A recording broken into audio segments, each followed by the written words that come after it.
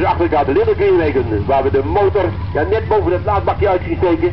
En hij kan er zomaar aan de achterzijde uit, want de klep staat al naar beneden. Ja, nou is alleen de vraag, gaat hij nog een showtje neerzetten als gisteren dat hij die voorwiel omhoog hield? Of hij nou inderdaad serieus gaan rijden om uh, te zorgen dat hij wel eens niet Ja, over de files kan ik weet ook niet wat hij met zijn uh, fraaie automobiel gaat doen. Maar tijd is dat even hartstikke mooi. Kijk erop. En hij is goed nog met 16 wat een reactie. Inderdaad, die is echt wakker. Die is vroeg naar bed gegaan. Nou is het natuurlijk belangrijk dat hij niet onder die 12 seconden duikt, want anders ligt hij er zelf uit. En dat doet hij inderdaad niet.